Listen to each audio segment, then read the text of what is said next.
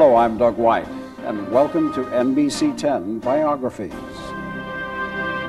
In this episode, we will meet two extraordinary individuals. One fought for the rights of the common man, the other turned our world of theater upside down. Adrian Hall ignored angry critics and public outrage while creating one of the most respected theaters in America. Thomas Dorr fought against laws that restricted voting rights. His crusade began with speeches and ended with armed rebellion. We begin this edition of NBC 10 Biographies with Adrian Hall. Thanks to the energetic direction and giftedness of Adrian Hall. I thought he was mad. You know, I thought he was a total uh, a madman. I didn't know how right I was uh, initially.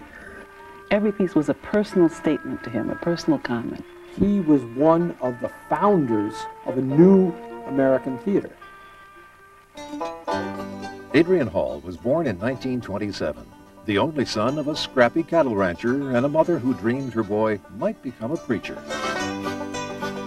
A small Texas town bearing the hardship of the Great Depression set the stage for the childhood of this sensitive young man.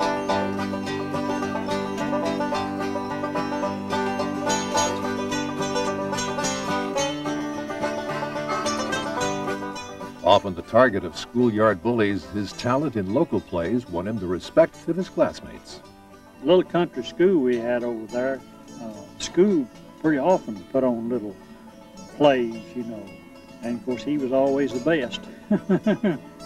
After graduating from high school, Hall enrolled in California's Pasadena Playhouse. This is the Pasadena Playhouse, a nationally known landmark in the world of the theater. Who will be the stars of tomorrow? Only time will tell. And only hard work can develop the gift of talent. Upon graduation, Hall looked forward to a life in the theater, but events halfway around the world would dramatically change his future.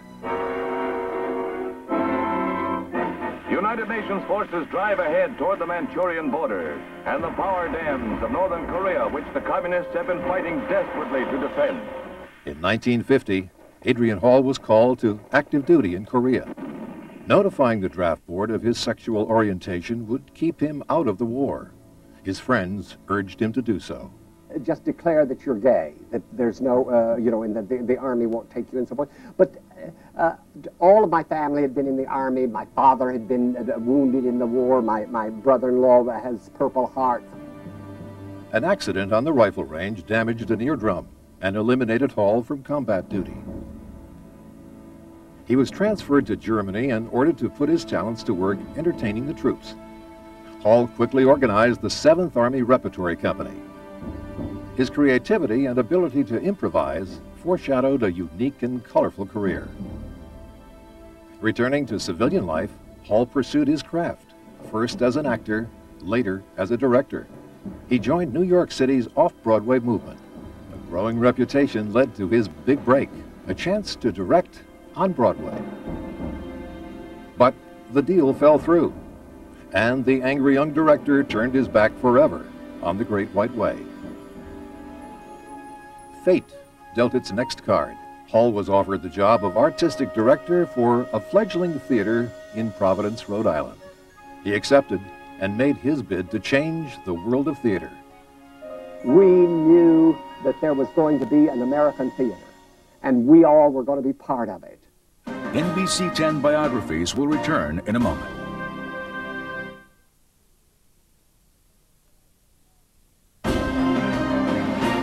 Why don't we, when we come down in the thing, tie the thing off here? For the next 25 years, Hall would make Trinity Repertory Theater his home.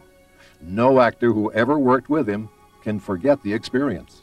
I just thought he was perhaps the most bizarre person I had ever met. I had only been in the theater for a couple of years, and, and uh, he just had an energy that was different from anyone else's energy.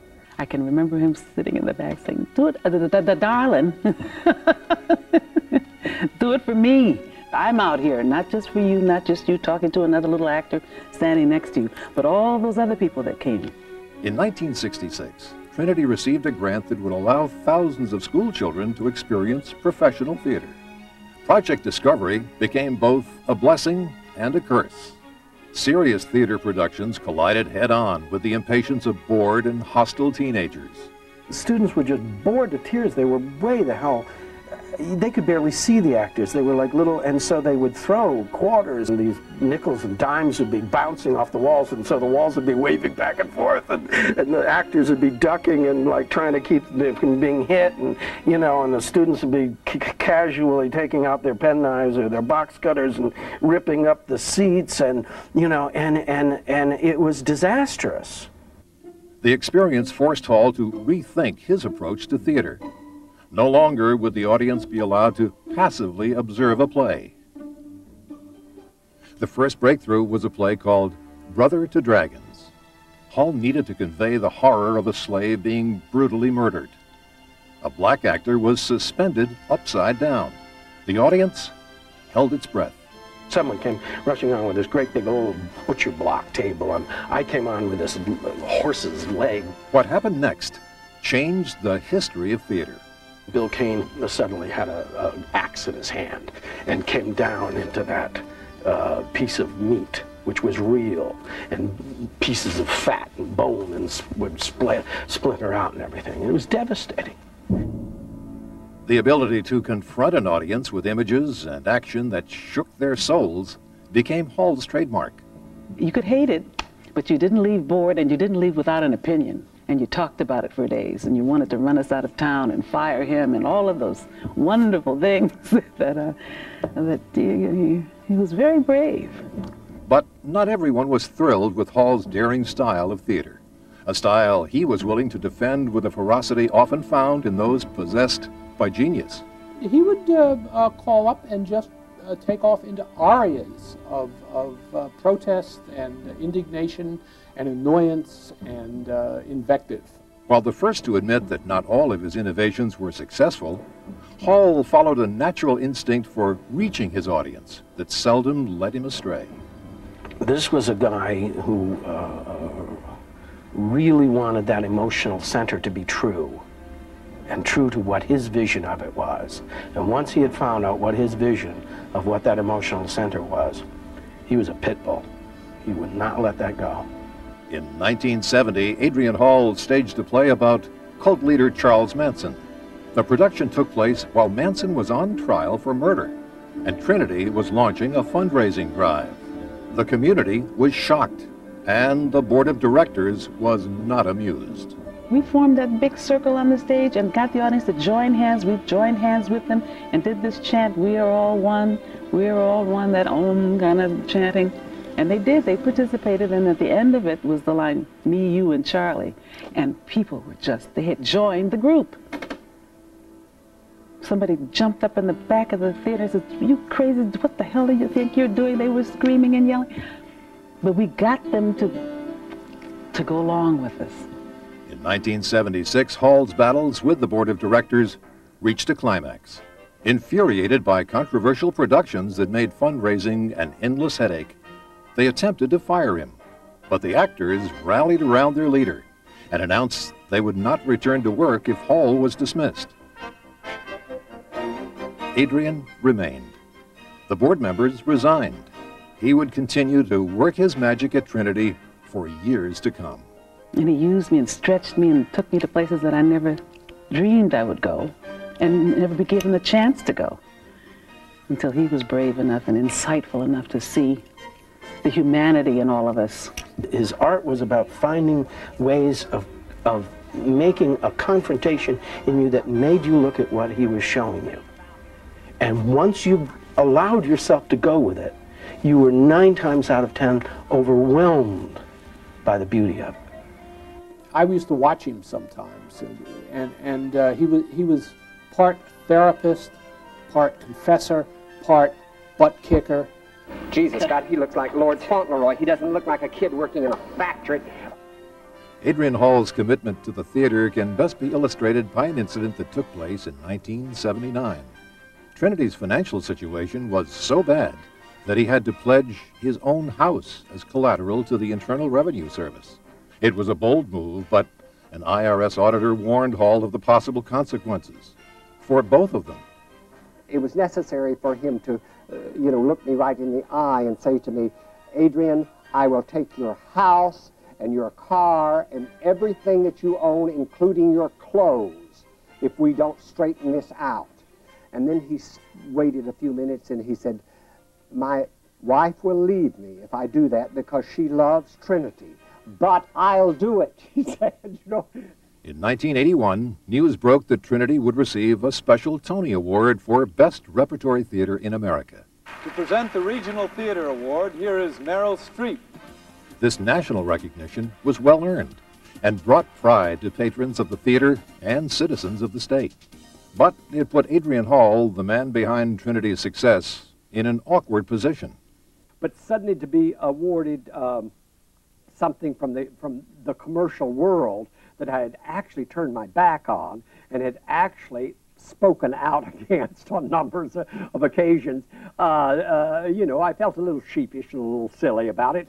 The Tony Awards Administration Committee has voted a special Tony Award for the most successful regional theater of the year.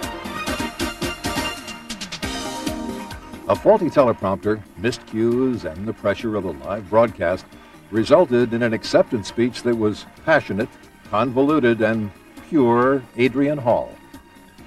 17 years ago, we began with a vague dream that it might be possible in the, in the American theater to, to live a good and, and productive life in the framework of a permanent ensemble. Without the continued support of the National Endowment for the Arts, without the, the continuing dream of actors who understand the the uh, idea of a, a, a life. Um, I thought it was uncomfortable just uh, with the whole situation, the formality of the whole thing, and they rushed. I mean, they, they, they, were so busy saying, you only have two seconds to do this and two seconds to do that. And, and he's very careful with not taking up people's time because he recognizes the importance of time. And I think he just felt terrible pressure to get on and get off. And most of all, without the guts, the courage, and the talent of the entire ensemble at Trinity Rep, I would not be standing here to say, like the little red train about to mount the highest mountain, I think we can, I think we can, I think we can. Thank you. In the fall of the same year, another honor was bestowed on Trinity. A State Department sponsored tour of India, Syria, and Egypt was announced. During their travels in India, Adrian Hall spoke passionately about his belief that actors deserve the respect of any enlightened society. I've said this before, but I, I say it again and again. I, it, it's never been so clear to me as it has been in India that the um, you can't imagine a doctor working part-time at another job during the day so that he can practice his craft at night.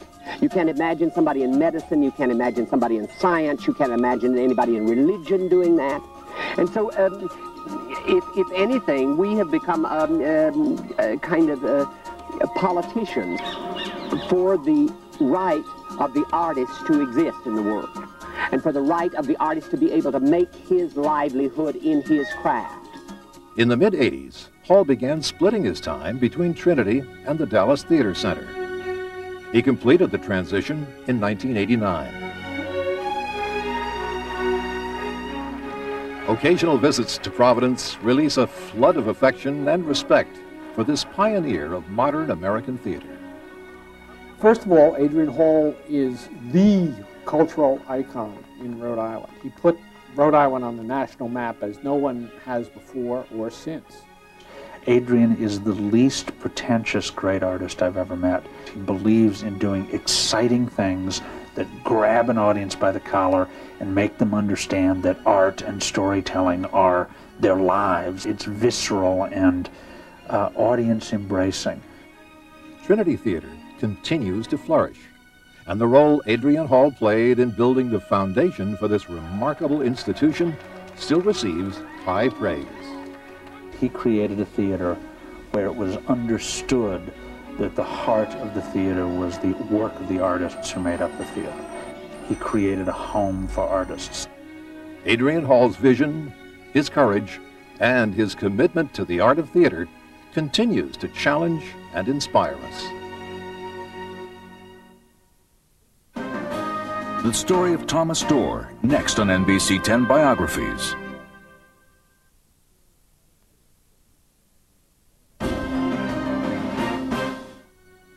Right to vote, the cornerstone of democracy. Fighting for the opportunity to exercise that right has often been a difficult struggle, even in the United States. Rhode Island's colonial charter limited voting rights to men who owned land. It was a restriction that remained in effect even after America won her independence from Great Britain. As the country became increasingly industrialized, waves of immigrants arrived to work in factories.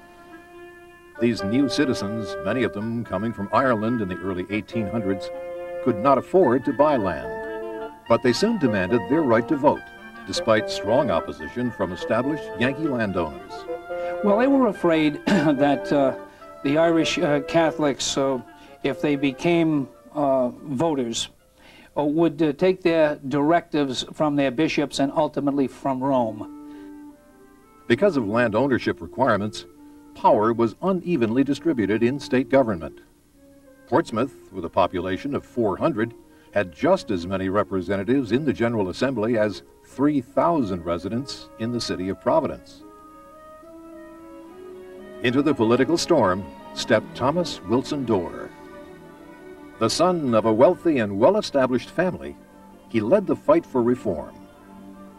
Frustrated in their attempts to gain power through traditional means, the reformers held their own convention.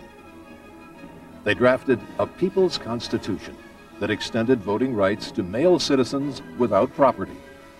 It was a major step forward on the road to true democracy. But unfortunately, the state's black population was left out.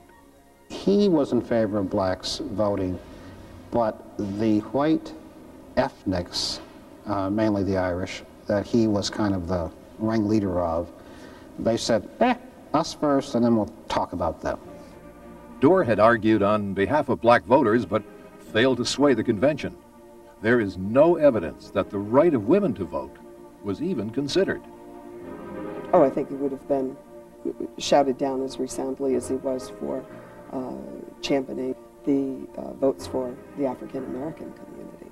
I mean, you have to understand this is a, a period in time in which um, folks are very concerned and very anxious. There's a lot of tension about who is an American, who is uh, part of the, the corporate body that makes the laws and um, helps us shape our community.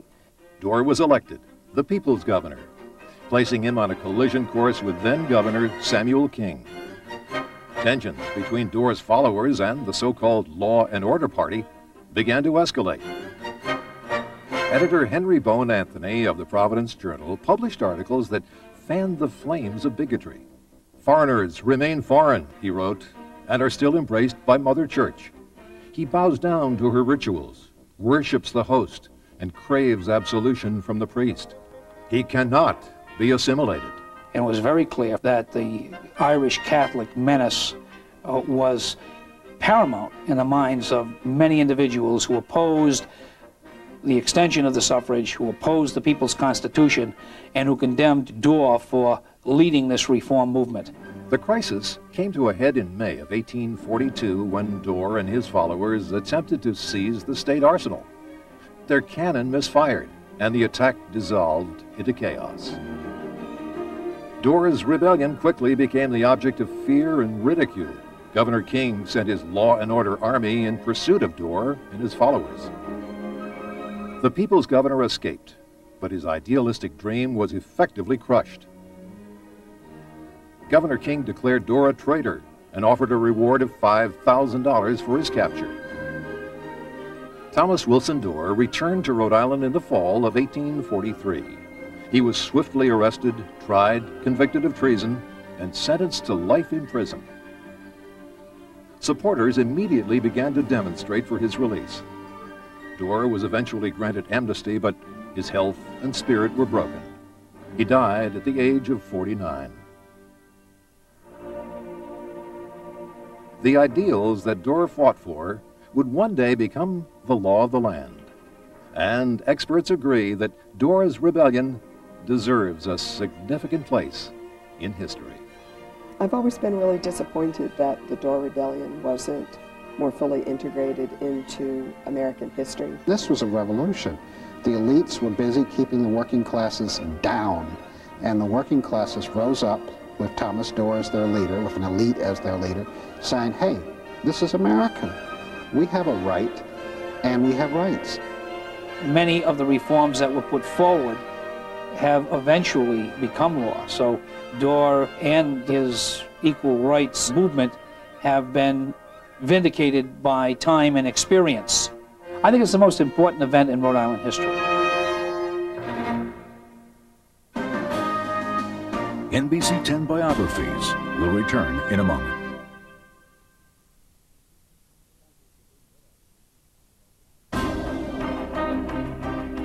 Thank you for being with us. I'm Doug White, and be sure to join us next time for another edition of NBC 10 Biographies.